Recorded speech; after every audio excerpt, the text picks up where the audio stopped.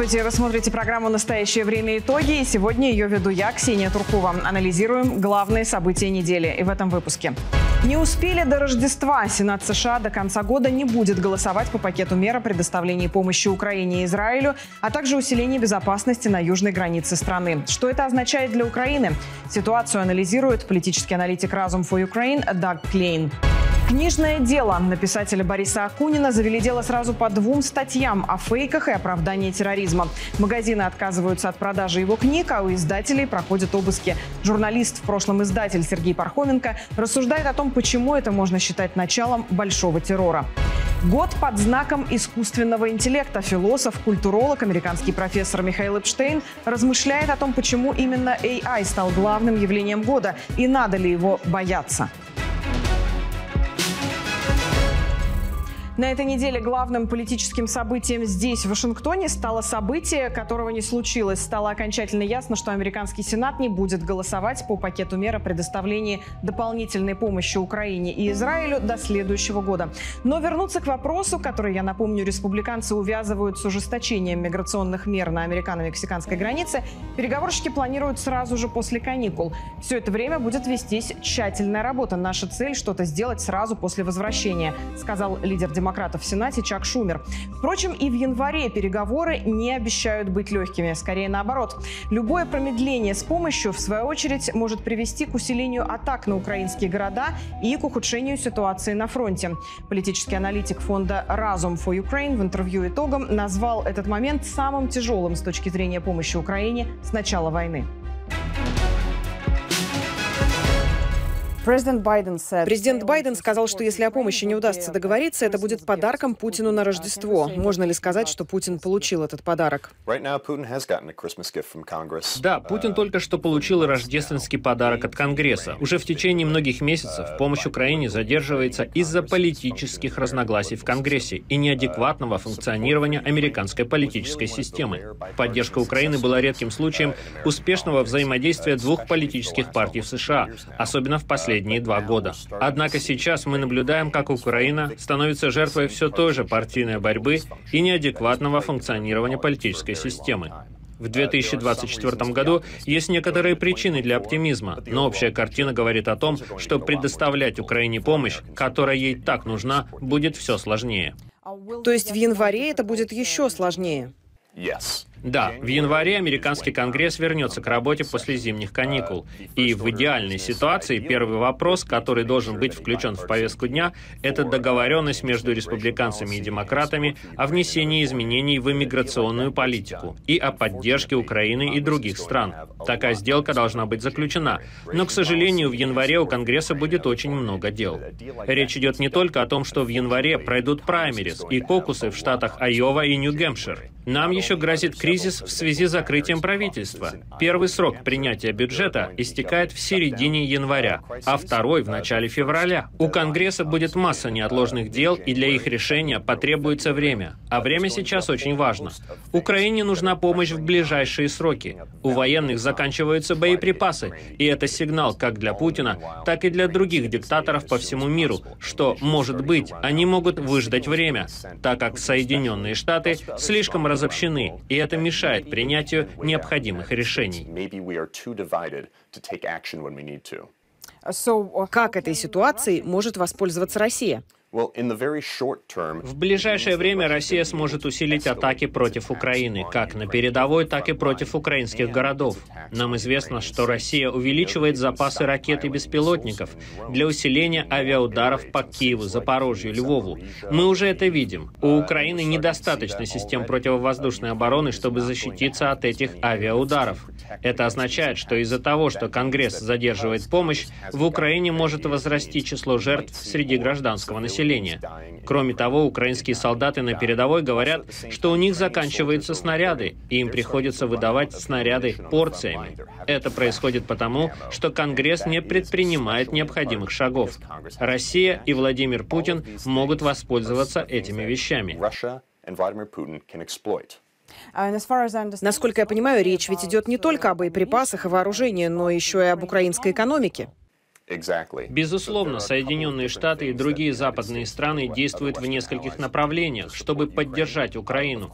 Конечно, самая важная форма помощи – это военная, но не менее важны также экономическая, бюджетная и гуманитарная виды помощи. Один из важнейших уроков, который вынесли США, предоставляя помощь правительствам других стран, особенно в военное время, это то, что очень важно иметь дело с хорошо функционирующим правительством, которое в состоянии противостоять коррупции коррупции и контролировать ту помощь, которую получает. Бюджетная помощь правительству Украины предоставляется для того, чтобы была возможность продолжать платить зарплату украинским госслужащим, выплачивать пенсии, и чтобы экономика страны продолжала работать. Это важно для того, чтобы контролировать надлежащее применение всей остальной помощи, чтобы страна продолжала правильно функционировать. Я надеюсь, что Конгресс примет закон о выделении этого вида помощи, и она будет продолжаться соглашаться. Даже те члены республиканской партии, которые поддерживают военную помощь Украине, сейчас начинают относиться более скептически к выделению бюджетной помощи. Они начинают задавать вопросы, почему мы, американцы, должны платить пенсии украинцам и поддерживать там малый бизнес. Это простая тема для обсуждения, но все эти вопросы сейчас важны.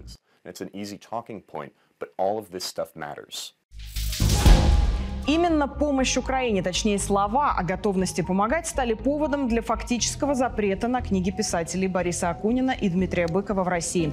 В начале этой недели Росфинмониторинг внес Акунина Григория Чхартишвили в перечень террористов и экстремистов. Следственный комитет завел на него дело сразу по двум статьям Уголовного кодекса – о фейках и об оправдании терроризма.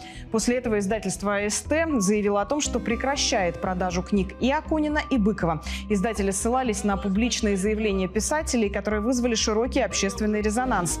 Имелся в виду разговор писателей с прокремлевскими пранкерами, в котором Акунин сказал, что готов помогать Украине. Российские книгоиздатели явно испугались, за исключением представителей издательства «Захаров», которые от книг избавляться не стали, и к ним из-за этого пришли с обысками. Журналист, в прошлом издатель Сергей Пархоменко объяснил в интервью итогам, почему считает происходящее возвращением к большому террору. Сергей, а Борис Акунин, Григорий Чхартишвили в своем телеграм-канале написал, что обыски в издательстве «Захаров» — это, скорее всего, только начало. Придут и в другие издательства, и в книжные магазины за его книгами. А можно ли сказать, что это не просто начало репрессий в отношении Акунина и в отношении Дмитрия Быкова, но и в целом начало какого-то большого процесса и против писателей, и против книжной и издательской сферы в России? Да, конечно. Ну, абсолютно правильно было бы так сказать. И хотя, конечно, конкретно судьба Григория Чхартишвили э, очень нас всех волнует, меня тоже очень волнует, поскольку мы там много лет дружим, и это человек очень близкий и дорогой. Но надо отдавать себе отчет в том, что это начало большой истории. И начало некоторого нового этапа. И Акунин абсолютно правильно это оценивает. Э, и действительно, любой трезвый человек, который посмотрит на это, поймет, что, э, ну да, это э, некоторая веха. В нескольких разных смыслах. Во-первых, нужно уничтожить тех, кто сумел сохранить независимость мнений и авторитет, влияние. За время войны очень многие люди раньше влиятельные по тем или иным причинам лишились этого влияния. Кто-то сидит в тюрьме, кто-то молчит, кто-то дискредитировал сам себя неудачными какими-то действиями или недостаточно активными, или, наоборот, слишком суетливыми.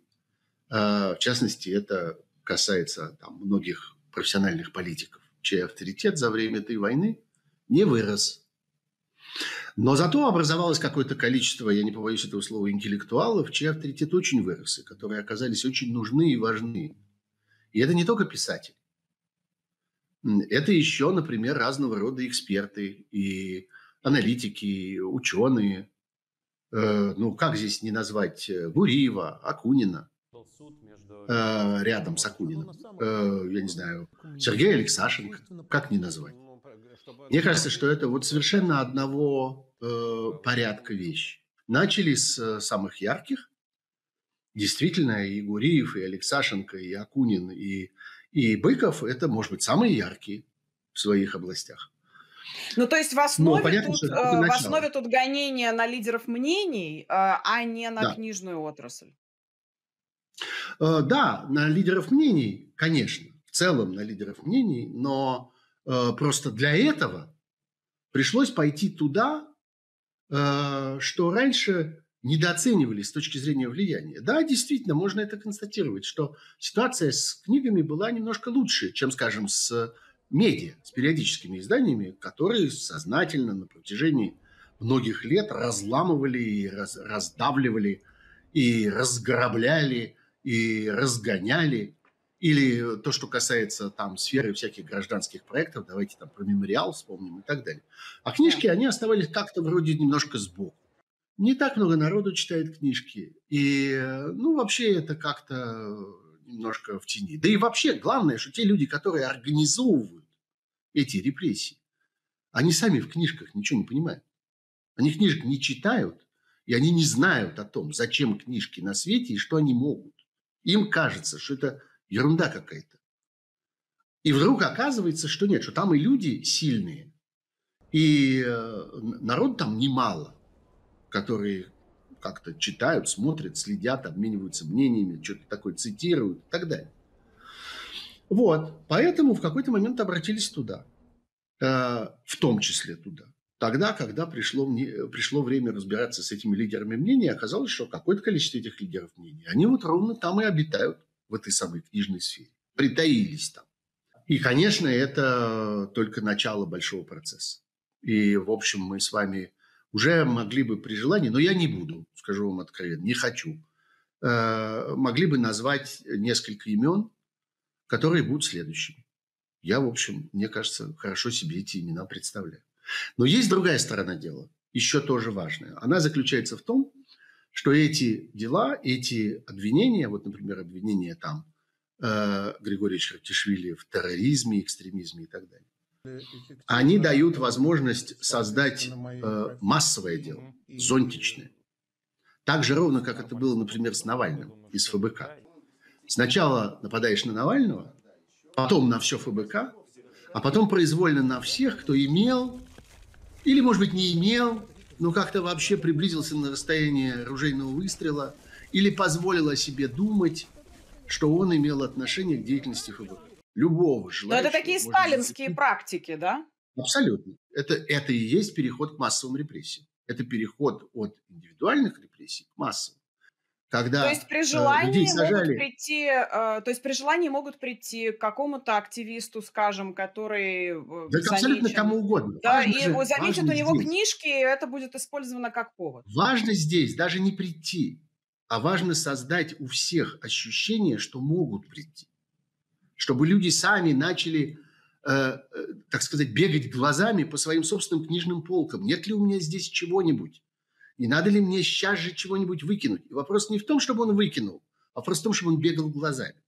Вот это очень важная вещь. Это и есть террор. Следующий вопрос возникает. Э, можно ли ждать какого-то читательского сопротивления, возрождения сам издата, там издата и так далее? Да, конечно. Ровно так же, как э, в самые темные советские времена. Именно э, вот эта э, среда читающих людей а, оказывалась той средой, в которой жила какая-то свободная мысль, а, этого можно ждать и сейчас. С поправкой на всякие обстоятельства развития цивилизации. Книги существуют не только в бумажном виде, а и в аудио виде, и в электронном виде. И сам издат может быть очень разнообразный. И такой, и секой, и электронный, и аудио сам издат. И сам издат по электронной почте, и бумажный сам издат тоже, на самом деле, конечно. И я уверен, что э, появится значительное количество людей, которые в этой ситуации, может быть, даже и много лет уже как перешли на электронные книги, а сейчас захотят бумажных, как коллекционный артефакт, на память. У меня тоже есть книга И, может быть, для кого-то эта книга, стоящая на полке, там, которая или где-то спрятанное, а потом вынутое и кому-то показанное, будет еще и опознавательным знаком так же точно, как опознавательными знаками были книги при советской власти. В России продолжаются репрессии, пропадают оппозиционеры. Кремль по-прежнему ведет войну против Украины. Война продолжается и в Израиле. Американскую политику штормит в преддверии президентских выборов. Казалось бы, разве тут до философских вопросов о развитии искусственного интеллекта? Но, как оказалось, AI действительно в каком-то смысле затмил собой все. Его выбирают словом года, о нем говорят ученые и политики. Только на этой неделе стало известно, что Путин хочет задействовать искусственный интеллект в войне с Украиной. А в Дании модель искусственного интеллекта научилась предсказывать судьбу и даты смерти людей. Философ, профессор университета Эмори в Атланте Михаил Эпштейн изучает искусственный интеллект с момента его появления и даже написал книгу в соавторстве с нейросетью. В интервью итогом он рассказал о том, почему, по его мнению, искусственного интеллекта на самом деле не стоит бояться. Михаил, мы сейчас видим, что во многих странах, где проводится конкурс слова года, побеждают или выходят на первые позиции слова, которые так или иначе связаны с искусственным интеллектом, с нейросетями. Почему эти слова воспринимаются как определяющие этот год? Ведь очень много всего в мире происходит, и войны продолжаются в Украине, в Израиле, репрессии в России, и много всего происходит. Почему именно нейросеть? Я думаю, Ксения, здесь два фактора. Один исторический, другой психологический. Исторический э, фактор состоит в том, что мы действительно живем в абсолютно революционное время, Э, даже более чем в э, начале-середине 90-х годов, когда интернет э, вошел в обиход и совершенно изменил сеть человеческих коммуникаций. А сейчас меняются не только коммуникации, но и процессы мышления, творчества, созидания. То есть вот эта революция заходит в глубину человеческого мозга и выходит оттуда Э, какими-то совершенно новыми симбиозами, синтезами естественного и искусственного интеллекта. Поэтому это неотменимая реальность, которая э, меня взволновало. А второй психологический, что люди страшно э, устали от э, э, меланхолии, от мизантропии, от э, пандемии, от войны. Им хочется каких-то радостных новостей, а единственная такая всемирная радостная новость за последний год – это, безусловно, искусственный интеллект. И э, я думаю, что этот э, фактор тоже важен, и он, в общем-то, глубоко оправдан. Понимаете, люди не могут долго жить в состоянии неминуемой катастрофы, болезни, смерти убийства, насилие.